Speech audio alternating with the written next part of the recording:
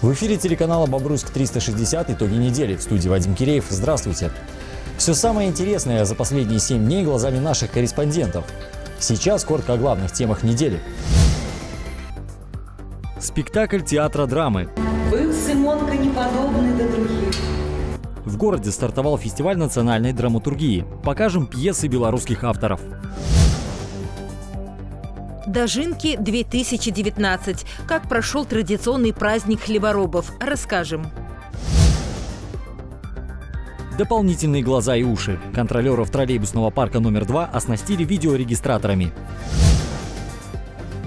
Социальная проблема привела к популярности в соцсети. Девочки э, договаривались, чтобы ну, вот, дружить против Ксюши. Расскажем о девочке из Бобруйска, на которую подписано более 770 тысяч фолловеров. Не будь хамом на дороге. А я за машиной не заметил и проехал. Наша съемочная группа отправилась в рейд вместе с госавтоинспекцией. Нарушают не только автомобилисты, но и пешеходы. Десять раз за одну минуту бобруйский силач попытался установить новый мировой рекорд шиной весом 270 килограммов. Покажем, как это было. И почему БелЖД больше не будет брать сбор за бронь билета, расскажем. Бобруйск принял долгожданный фестиваль национальной драматургии. На шесть дней наш город перевоплотился в культурную столицу. Сюда съехались профессиональные театральные коллективы, в том числе и зарубежные.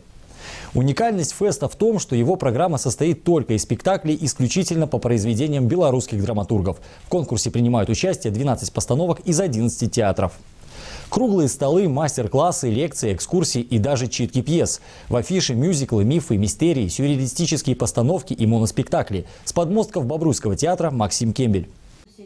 12 спектаклей из 11 театров. Постановки исключительно по произведениям белорусских авторов. В этом вся уникальность события. С 1 по 6 ноября Бобруйск уже в седьмой раз принимает фестиваль национальной драматургии международного масштаба. Конкурсная программа под названием «Спектакль театра драмы» на протяжении всего времени будет держать напряжение актеров, жюри, критиков и, конечно же, зрителей.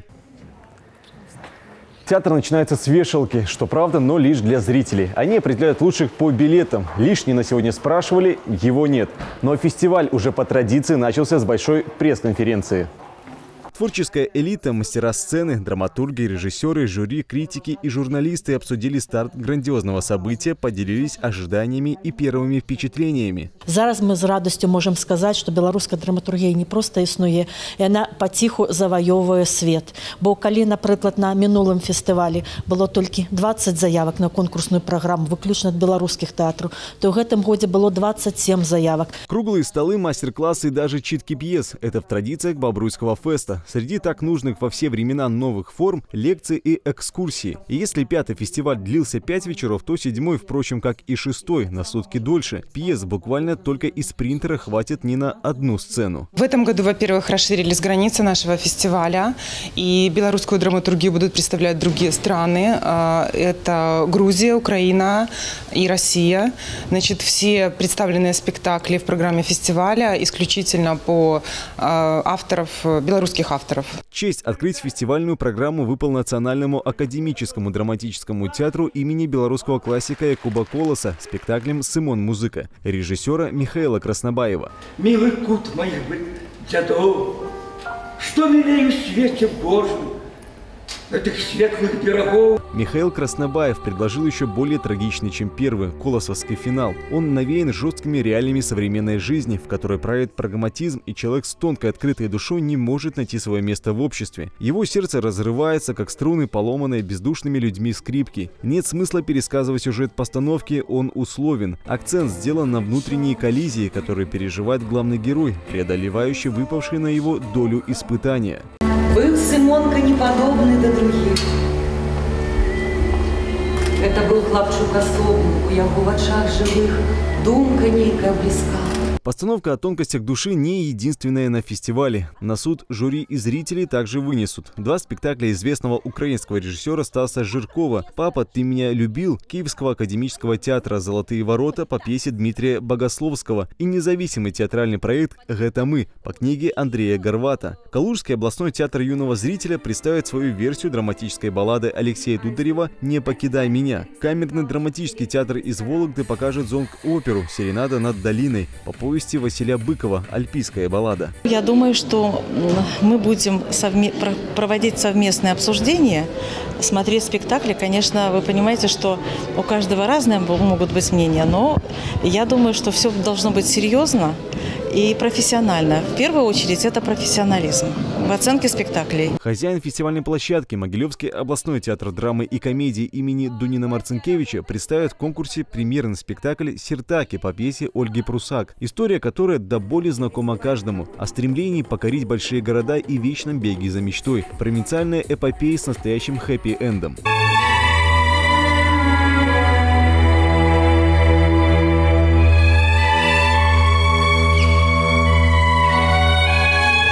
Театральный форум – возможность увидеть интересные проекты, креативные постановки и познакомиться с творчеством белорусских авторов. В афише – сатирические пьесы, мюзиклы, мифы, мистерии, сюрреалистические постановки и моноспектакли. Вся жизнь – театр. Шекспировскую фразу в нашем городе стоит воспринимать буквально. Уже сейчас рядом с вами могут оказаться драматурги. Они вышли на улицы города и следят за прохожими. Результатом творческой лаборатории станет совместный спектакль. Максим Кембель, Андрей Богдан. Итоги недели. Подвели итоги жатвы. В агрогородке Телуша прошел традиционный фестиваль «Ярмарка Дожинки-2019». Он подвел черту под многими месяцами полевых работ. Лидером ежегодных соревнований по уборке урожая среди сельскохозяйственных организаций Бобруйского района стал СПК «Гигант». О том, кто еще отличился на хлебной ниве, Людмила Любимцева.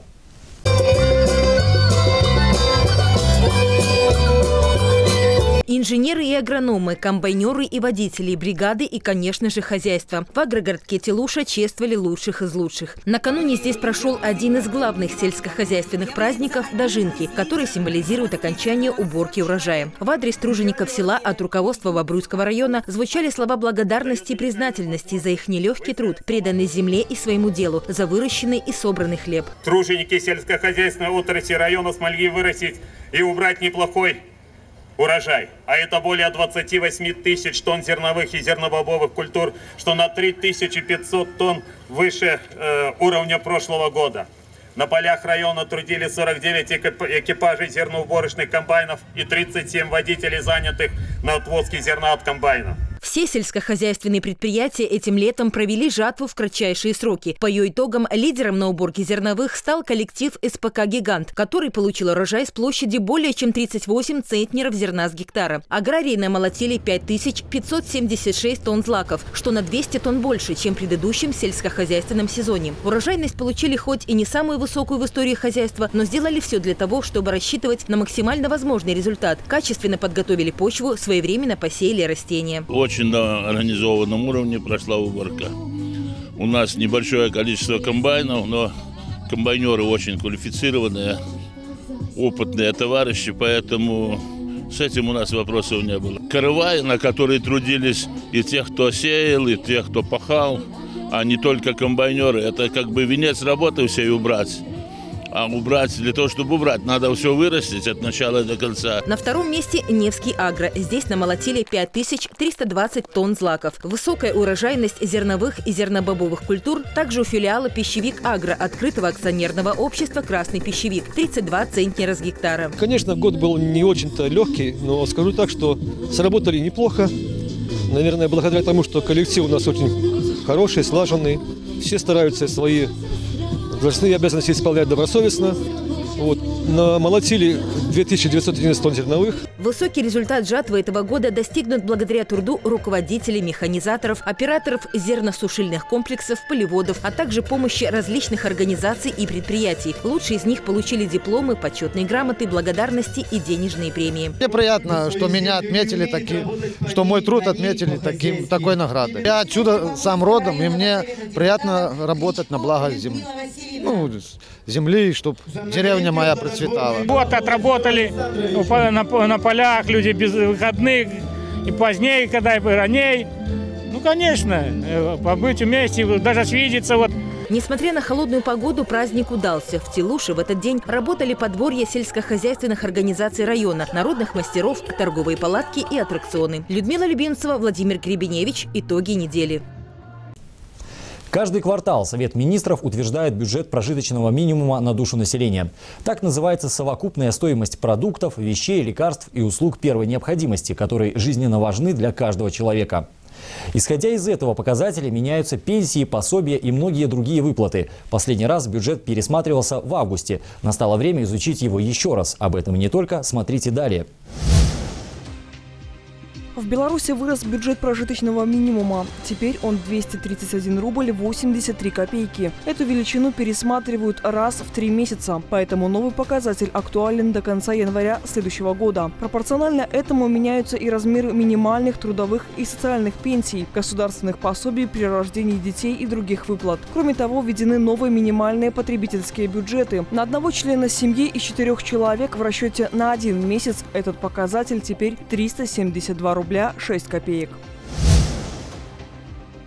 В 2020 году Белавия расширит предложение по дешевым лоукост тарифам на авиабилеты. Существенно снизить цены по многим направлениям, особенно европейским, можно будет за счет отправления самолетов из областных центров. Также будет расширена система брендовых тарифов с более гибким выбором опций. Если пассажир отказывается от габаритного багажа и путешествует налегке, цена на билет будет значительно ниже. В следующем году появятся и новые авиарейсы из Минска в города Испании, Кипра и Казахстана. При возврате товара, оплаченного банковской картой, покупатель вправе требовать зачисления денежных средств на любую свою карту, а не обязательно на ту, которой покупка была оплачена. Этот спорный момент разъяснило антимонопольное ведомство. В законе содержится только требование к форме наличная или безналичная. При этом не прописан обязательный возврат на ту карту, с которой производилась оплата. Таким образом, продавец не имеет права отказать потребителю, если на момент расторжения договора у него отсутствует соответствующая карточка. Железнодорожные билеты, купленные через интернет, станут дешевле. Больше не нужно дополнительно оплачивать их заказ и оформление. Ранее тариф на поезда региональных и межрегиональных линий составлял 24 копейки, на международное отправление 78. Также отменен и дополнительный сбор при предварительной покупке квитка на пригородные и междугородние автобусы. Соответственно, платеж в таком случае уменьшается на 11 копеек. Пешеход – человек, передвигающийся пешком, то есть с помощью ног, методом ходьбы, бега или прыжков. Согласно ПДД, пешеход – лицо, находящееся вне транспортного средства на дороге и не производящее на ней работу. Так говорят правила. В жизни абсолютно каждый из нас ежедневно тот самый, не производящий работу на дороге. Но именно люди вне транспортного средства становятся жертвами невнимательности либо со своей стороны, либо со стороны водителей. А может все и сразу. На днях госавтоинспекция Могилевской области провела единый день безопасности. Наша съемочная группа вместе с сотрудниками ГАИ отправилась на самые жаркие перекрестки города и лично проверила, как люди готовы жертвовать собой ради выигрыша пары секунд. Официальная статистика утверждает, главная причина большинства ДТП – нарушение правил дорожного движения на пешеходных переходах. Если немного вспомнить, что говорят те самые правила, то здесь все просто и однозначно. Если на дороге всего две полосы, водитель обязан остановиться перед переходом, как только пешеход ступил на зебру. После того, как он закончил переходить полосу движения авто, водитель может продолжать движение. Тут и начинается самое интересное. Все знают, как нужно, но иногда в спешке пренебрегают азами дорожного движения и делают это сознательно. За 9 месяцев 2019 года на территории города было зарегистрировано 21 дорожно-транспортное происшествие с участием пешеходов. 8 из них было из-за нарушения проезда пешеходных переходов. Наша съемочная группа вместе с сотрудниками ГАИ выехала на оживленный перекресток Пролетарской и Октябрьской. Здесь нет светофора, но есть пешеходный переход. Так вот, за час работы было выявлено три нарушителя. И это с учетом того, что на составление протокола уходит минимум 15 минут. И все с одной проблемой – не уступили дорогу пешеходу. Кто-то не заметил человека, кто-то спешил, а кто-то не заявил желания объясняться. Были и те, кому в этот день не повезло от слова совсем. Помимо штрафа за непропуск были и взыскания за отсутствие госномеров и непристойности пристегнутый ремень. В общей сложности больше 200 рублей. Кажется, не было. Там машина закрыла пешеходов, мне показали по камере. А я за машиной не заметил и проехал. Но обвинять во всех грехах исключительно водителей было бы неправильно. Ведь пешеход пешеходу рознь. Здесь все зависит от человека. Тут люди также спешат, опаздывают и забывают иногда, что дорогу в неположенном месте переходить нельзя. Особенно яро такое желание проявляется, когда перед вами автобус, который вот-вот тронется с места, а вы застряли на светофоре. И если поблизости нет машин и тем более ДПС, то перебежать, пока никто не видит, очень даже можно. Этот пешеходный переход часто, очень часто люди бегут на красный свет. Несмотря, стоит автобус, все, целая толпа, и взрослые, и дети. Перекресток Дзержинского и Пушкина всегда был, есть и будет непростым. Тут находится светофор, но не все готовы жертвовать своим временем, когда на конечной стоит общественный транспорт. Опоздав, можно прождать следующего минимум полчаса. Вы когда-нибудь нарушали правила дорожного движения как пешеход? Нарушал. Почему? Ну, когда торопился. Вы когда-нибудь нарушали правила дорожного движения? Вот уже нарушил, видимо. А почему? Ну вот думала, срежу угол. Стараюсь не нарушать, потому что я сама учусь на права, будущий водитель, поэтому не стараюсь не нарушать и не советую другим людям это делать. Пешеходам не стоит забывать. Особенно опасно пересекать проезжую часть дороги в темное время суток, поскольку вы видите машину с включенными фарами, а водитель может вас не заметить. При этом темная одежда поглощает свет. Чтобы улучшить видимость, пешеходу необходимо обозначить себя световозвращающими элементами. Кристина Рианс, Максим Галеонко. Итоги недели. Кстати, об автомобилистах. Госавтоинспекция призывает водителей сменить шины, не дожидаясь зимы. При низких температурах летняя резина дубеет. На скользкой дороге это может привести к заносам и авариям. Более того, поездка на шиномонтаж заранее поможет избежать очередей. Тех, кто не переобул свой транспорт, напомним, будут наказывать штрафом уже с 1 декабря. Мы продолжаем наш выпуск. Еще недавно ей устраивали в школе бойкоты, а уже сегодня восхищаются в разных уголках земного шара. История бобруйчанки Ксюши Капустиной не совсем стандартная. Тот самый случай, когда социальная проблема подтолкнула ребенка на поиски друзей в соцсети. Обо всем по порядку в репортаже Марии Бересневич. Говорят, современная молодежь много времени уделяет общению в интернете, и с этим, пожалуй, не поспоришь. Однако 13-летняя Ксюша Капустина скорее исключение, нежели правило. Проблемы в жизни ребенка начались два года назад. Именно тогда одноклассники девочки устраивали бойкоты и подолгу играли с ней в молчанку. Девочки э, договаривались, чтобы ну, вот, дружить против Ксюши. Там была такая ситуация. Вот. И это как бы продолжалось какой-то, ну, какой-то промежуток времени, конечно, ну, ее это обижало какое-то время тоже, но потом она как-то смирилась с этим и просто стала заниматься именно вот, ну, собой, именно вот, например, лайком, да. Внимание Ксюши привлекли блогеры. Она начала смотреть обучающие видео, чтобы стать одним из них. Через несколько дней девочка скачала приложение «Лайки». Туда начала выкладывать ролики совершенно разного характера.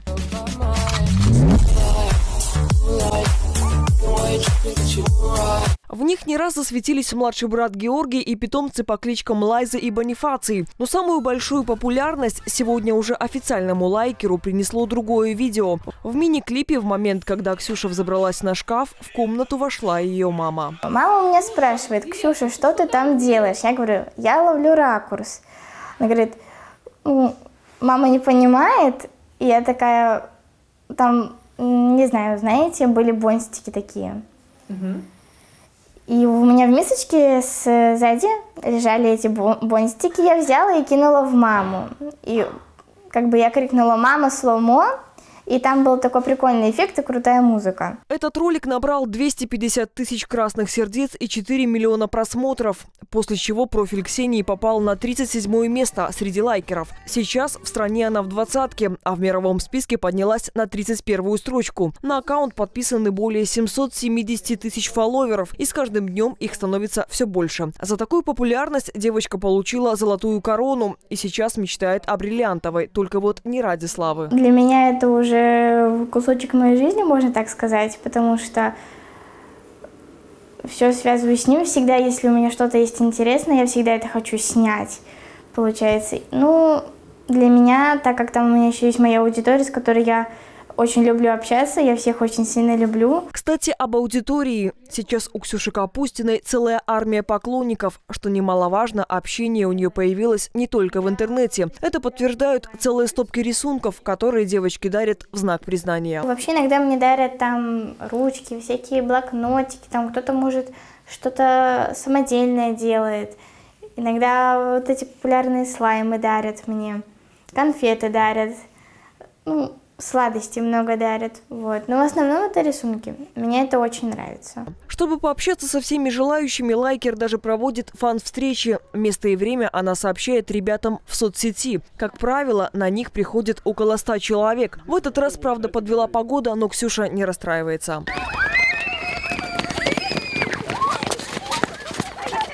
В январе блогер планирует побывать в Питере на пати, которая будет организована для самых популярных лайкеров со всего мира. А еще хочет попасть на курсы фото и видеосъемки. Ксюша Капустина отмечает, не исключено, что ее хобби станет будущей профессией. Возможно, она свяжет свою жизнь с режиссурой. Но самое главное, что она больше не чувствует себя одинокой. Мария Бересневич, Максим Галенко. Итоги недели. Избежать конфликтов помогут новые технологии. Теперь бобруйские контролеры отправляются в рейд с видеорегистраторами. По одному на каждую пару охотников за зайцами. А таких ревизоров в нашем городе 24. Ежедневно проверки начинаются с 4 утра, а заканчиваются в час ночи. Ну а видео и аудиозапись теперь послужат доказательством законности их действий. О важных нововведениях смотрите далее. Синие жилеты делают ход конем. Любители прокатиться на общественном транспорте бесплатно теперь записываются на видео. Ни соколиный взгляд, ни какие-либо отговорки уже не помогут. Рейды контролеров стали еще более бескомпромиссными. Бобруйских охотников за зайцами вооружили видеорегистраторами. Видеорегистраторы мы получили от э, ООО «Могилева Болтранс». Получили в конце э, сентября месяца. И уже полноценно мы с 2 октября э, оснастили контролеров пассажирского транспорта видеорегистраторами. Пока выдали, по, вернее, получили 15 штук по одному на пару. Контролеры входят через переднюю и заднюю двери, чтобы найти ответ у безбилетных меньше минуты. Хорошо, когда только словами заканчивается спор, правда не всегда цензурными. Бывает дело доходит и до рукоприкладства. Поэтому дополнительные глаза и уши, уверяют в Баврусском троллейбусном парке, помогут снизить количество двуяких ситуаций. Прошу предъявлять оплату за проезд для контроля. Ирина Колымаева – ревизор со стажем. За смену ей нужно проверить до 70 троллейбусов. Закон гласит, не оплатил проезд – получи штраф. Контролера не волнует ни статус безбилетника, ни причины, по которой тот едет без проездного документа. Как бы душераздирающей не звучала история так называемого «зайца». И как раз подтверждением законности действий служит видеорегистратор. Дисциплинирует больше людей и нас в том числе тоже. Вот. Ну, когда люди видят видео, видеорегистратор, они как бы более спокойно себя ведут, понимаете, э, оплачивают. В основном я работаю согласно служебной инструкции. Если мне положено брать штраф, я его беру. Цена вопроса 55 копеек. Если платить за проезд водителю, то талон обойдется в 60 копеек. Сам же штраф 12,5 рублей. Разница существенная. Кстати, горожане видеорегистраторы, как ни странно, поддерживают. Ну, мало ли конфликтная ситуация всегда можно разобраться. Ну, чтобы виден был конфликт, кто виноват там, допустим, да?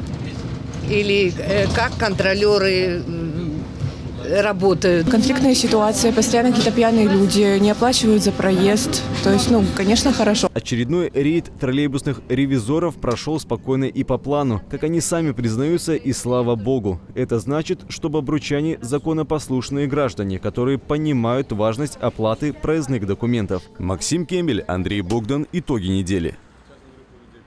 Сообщения о его смерти появляются регулярно с 2015 года. Охота за лидером исламского государства началась как минимум лет 10 назад. Тогда Госдепартамент США объявил о награде в 10 миллионов долларов за информацию о местонахождении джихадиста. Однако ему всегда удавалось выйти живым из перестрелок, но не в этот раз. Подробнее в нашем традиционном дайджесте. Далее. Пентагон обнародовал первые кадры спецоперации, в ходе которой был убит главарь исламского государства. На видео здание в сирийской провинции Идлиб, где прятался Абу Бакр Аль-Багдади. Видно, как объекты с двух сторон окружают люди. Что было потом, неизвестно. Предполагается, террорист отстреливался из тоннеля перед тем, как привел в действие самодельную бомбу на поясе. Тест ДНК подтвердил, ликвидирован был именно Аль-Багдади. К слову, власти США готовы были заплатить за голову главаря до 25 миллионов долларов. off. В аэропорту Сардинии задержали туриста за кражу более 45 килограммов песка и камней. Преступником оказался итальянец, который проживает в другой части страны. Он спрятал награбленное в багаже, платил перевес и дожидался вылета. С 2017 года на Сардинии принят закон, запрещающий вывозить песок, камни, ракушки с белоснежных пляжей острова, поскольку из-за изменения климата и воровства туристов почве региона грозит эрозия. Наказание варьируется от 500 евро до 6 лет тюрьмы. Массовые беспорядки вынудили власти Чили отказаться от проведения международных мероприятий. Их организацию обещают передать Малайзии, которая примет форум Азиатско-Тихоокеанского экономического сотрудничества. Однако решением властей возмущены представители организаций по защите окружающей среды. По их словам, экологические проблемы имеют не меньшее значение, чем протесты из-за повышения цен на проезд. При этом в ООН, ответственные за климатический саммит, к ситуации отнеслись с пониманием. Напомню, из-за манифестаций, которые перерастают в беспорядки, порядке в стране вводилось чрезвычайное положение. Не утихает пожар Кинкит в Калифорнии. Власти штата объявили красный режим опасности. Огнеборцы пытаются локализовать сразу два очага – на севере, в Винодельческом округе и на западе, в Лос-Анджелесе. Тушению может помешать сильный ветер и даже привести к новым возгораниям. Узкие дороги и гористая местность затрудняют доступ к некоторым участкам. Из-за пожаров в понедельник отменили занятия в большинстве школ Санта-Моники и Малибу. На юге штата площадь пожаров превышает 200 гектаров. Тот самый момент, когда любимая работа становится образом жизни. На неделе площадка перед заводом управления Белшины стала местом фиксации нового мирового рекорда. Чтобы его установить, работнику предприятия пришлось перекидывать покрышку весом больше него самого в три с половиной раза. А силачей из Бобруйска Мария Бересневич. Три, два, один, старт! Сейчас вы стали свидетелями фиксации нового мирового рекорда. Эта идея принадлежит сотруднику бобруйского промгиганта Дмитрию Куракину. За одну минуту покрышку весом 270 килограммов силач перекинул 10 раз. Тяжело, все болит. У меня ну, нырки в плечах. Поэтому встал, долго, долго готовился к этому. Долго тренировался. 10 никогда не получалось. 8, 9. Я сегодня как бы так все да, это если сделаю 8, будет плохо. Если делаю 9, будет нормально. Если 10, это будет отлично. Поддержать коллегу и запечатлеть процесс на свои смартфоны вышли несколько десятков заводчан. Среди работников Белшины, кстати, немало последователей здорового образа жизни. Один из них – атлет Никита Юрковец. Он и фиксировал результат бобручанина на камеру. Дмитрий вполне справился. И еще один моментик такой. Это очень круто, что это выполняет обычный человек, простой рабочий завода, а не какой-либо профессиональный спортсмен э, с соответствующей подготовкой. То есть это в очередной раз доказывает, что э, ребята, которые работают тяжелым физическим трудом, очень крепкие. Руководство Белшины за новые рекорды. Потому Дмитрию заранее предоставили помещение для тренировок. Испытывал себя 30-летний грузчик и на 300-килограммовых покрышках. И это с учетом того, что сам мужчина весит 80 килограммов. Мы подали заявку в э, книгу мировых рекордов э, с фиксацией мирового рекорда. Так, такого еще никто не делал. Работники предприятия, они активно принимают участие во всех физкультурно-оздоровительных мероприятиях, которые проводятся и в рамках городской круглогодичной спартакиады, и областной, и республиканской. И э, всегда мы занимаем призовые места, наши работники предприятия. Это очень радует. Сейчас Дмитрию Куракину остается ждать фиксации результата и дальнейшего занесения в книгу мировых рекордов. Мария Бересневич, Андрей Богдан. Итоги недели. На этом мы заканчиваем наш выпуск. С вами был Вадим Киреев. Увидимся в следующее воскресенье в 20.30. До встречи и хорошей трудовой недели.